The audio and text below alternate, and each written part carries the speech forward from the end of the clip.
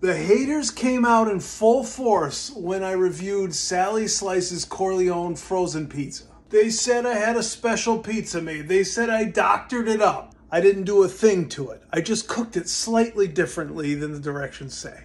So when the directions say bake from frozen, I don't do that. I defrost it. When it says 450, I go 475. So let's do it again, shall we? There we go. The haters said there's nothing to the pizza. They don't put anything on it.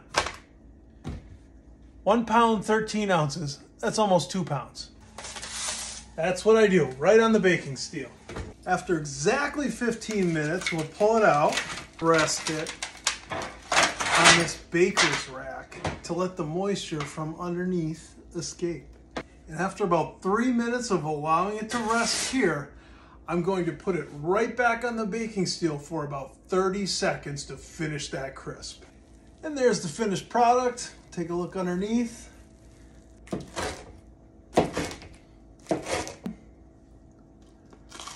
Hot. You can use these quick tips to improve the crispiness of any pizza, not just frozen pizza. So a little bit higher temp, defrost it all the way, use a baking steel, let the moisture go out and kiss it back on the baking steel and you'll have a crispy pizza no matter where you get it from.